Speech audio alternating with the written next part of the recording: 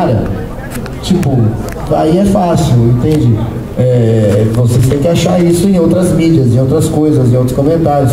Porque senão né, a internet aceita qualquer coisa. O cara fala, tem um cara aí que eu até acredito que é um pouco verdade, mas é, é verdade naquele universo dele.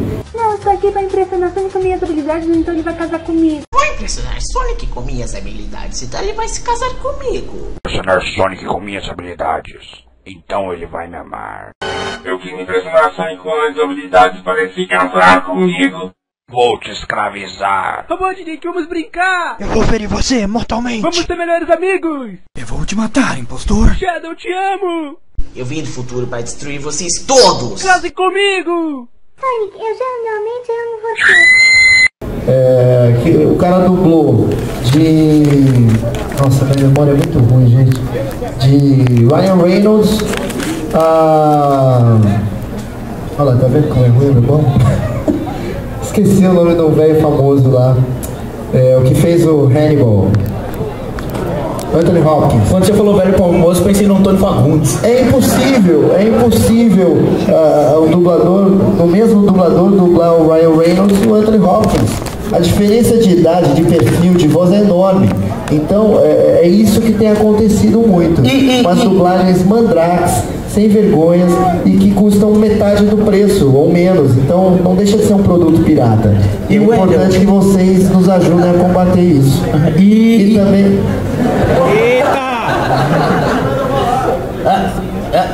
E também o que a gente tava falando, isso que às vezes acaba gerando muita crítica contra a dublagem, né? Porque, É. porque não que a dublagem brasileira seja ruim, mas são esses serviços feitos de qualquer jeito que queimam o filme da É, galera toda. entra, entra no mesmo pacote.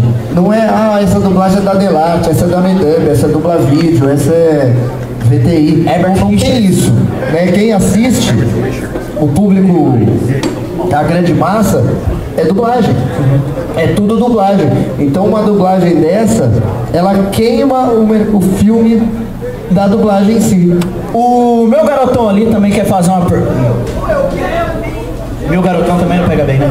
O Você tá rapaz- de viadagem hoje, mano. O rapaz ali, ele quer fazer. Ó, gente, é que. in- Não, in- infe- Papai? Eu posso explicar. Pode, é, fala seu nome, é, pra quem não conhece, fala aí. Oi. Prazer, o oi. Prazer, eu sou o Zé Cosmaker, pra quem não me conhece. É, Wendel, eu, eu vi num vídeo seu que você tava até fazendo. É, tava explicando sobre um vídeo do, do Whindersson, onde ele fala sobre a dublagem, Ah. tudo que ele fala daquela cena, por exemplo, é, hoje eu fui lá, não sei o quê, e aquelas dublagens que fica. E aí, tudo bom? Você tem? Qual é a sua opinião sobre essa, esses tipos de dublagem, que é os famosos boca de porco, né? Ou se isso é algum delay normal, se isso sim, geralmente acontece. Às vezes, não, às vezes é, é um delay de satélite e tal, mas aí quando isso acontece, tá tudo fora, inclusive a batida de porta, né, o soco, aí é bem perceptível que tá tudo fora. Mas tem muito disso. Gente tem dublagem em vários estados do Brasil. E são essas dublagens. Por quê? Eu, tava, eu vou, fa- vou fazer um vídeo sobre isso em breve. É, talvez seja o próximo você pula etapas. Então, imagina que você se junta com a galera amanhã, vou ter um estúdio de dublagem, eu conheço um cara na Discovery, eu sei lá onde, vou conseguir uns negócios para dublar. Ah, você vai estar pulando etapas.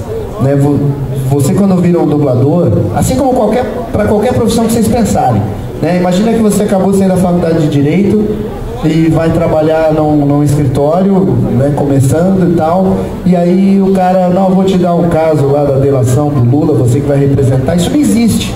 Então o que acontece muito nessas dublagens é isso, o cara tem experiência zero de dublagem e vai protagonizar um filme com um ator como esses que eu falei, né, como o Anthony Hopkins, o George Clooney.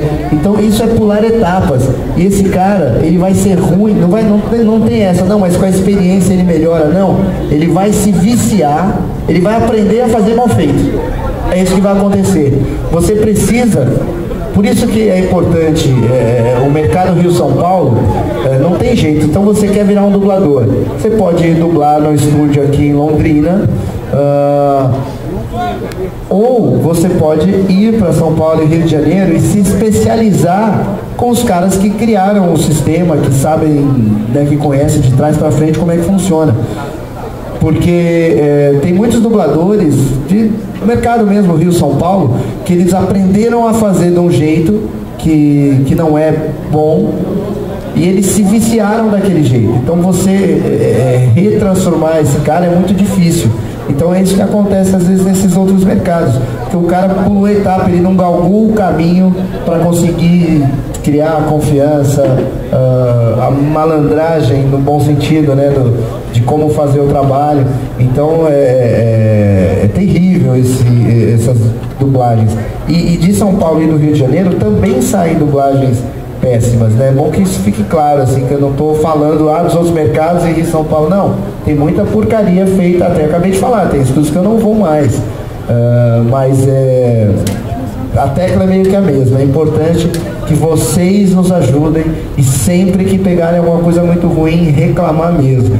Colocar na internet, colocar no Face dos caras, entrar no saque, no site e tal, para reclamar, porque é, vocês conseguem. Eu reclamo do, do programa Encontros até hoje não tiraram do ar. Tipo, tem que mover uma página online pra isso. Tiraram minha TV Globinho, tiraram de mim o Dragon Ball, tiraram de mim o Yu-Gi-Oh! Tiraram de mim a minha infância. É, é meu tesouro. Que ninguém nos ouça. É Ah, mas alguém ali, a- além de mim tá triste com isso? Quem ama Fátima Bernardes? Ninguém ama Fátima Bernardes. Nem o Bonner. Nem o Bonner ama mais, é passado. É passado. Mas o pessoal ama você e eu gostaria de falar que o nosso tempo tá esgotando. Tá bom? Eu esperava que eles fossem fazer uma mais triste. É, né? É, eu, eu- eu gosto desse pessoal espontâneo, sincero assim, né? É Mas sim. antes eu quero que todo mundo fique de pé, tá bom? Você também, tá? Todo mundo vai levantar a mão pra cima agora. Vai mandar as energias. Eu seguro aqui pro meu amigo. Agora sim posso sentir a poderosa Genkidama foi formada. Uma energia super positiva e assim poderemos afastar todo e qualquer ki negativo que esteja presente em Londrina.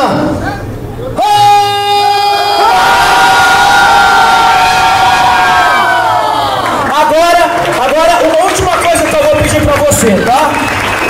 Essa, essa é. Eu vou até segurar o microfone pra ti, você faz o movimento certinho. Eu sei que é normal você fazer esse, esse, isso, né? Mas é, é um clichê que eu quero, eu quero pra você encerrar, tá? Um Kamehameha, a lá Bob Esponja, porque é algo simplesmente sensacional, tá bom? Fa- faz toda a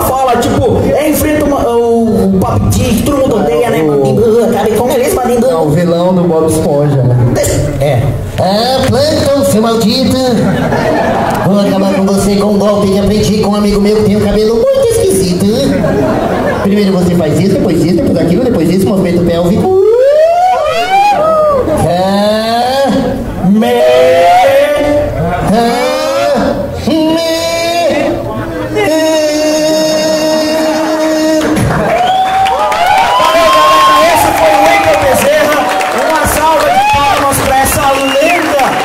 Dublagem brasileira. Obrigado, gente. Ó, ó, vale lembrar que o próximo que vai vir agora é o Yetis, streamer de LOL. Antes disso, manda uma fala lá em cima pro Yetis, que tá chegando aí. Bom, primeiro eu quero a- agradecer mesmo aqui o carinho de vocês, a presença, obrigado pelo convite, pela receptividade. Daqui a pouco eu já vou ter que correr, porque o voo é hoje, daqui a pouco. Oi, já? É, eu cheguei hoje e volto hoje. Ah, mas muito obrigado mesmo por vocês estarem aqui. De nada! Assinem o canal, tá? Convençam amanhã namorados e namoradas. As mães também são bem-vindas. Um milhão tem surpresa, hein? E. Yes, eu posso ouvir você teclando. Valeu, Wendel. Um abraço. Obrigado.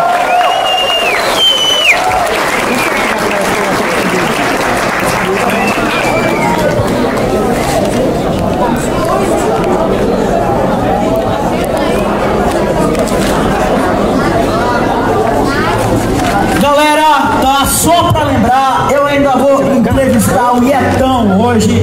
Pra quem curte League of Legends, aguarde um pouquinho pra não perder lugar que vai ficar apertado. vai vir umas 70, 80 pessoas com chapéu do Tima, tá?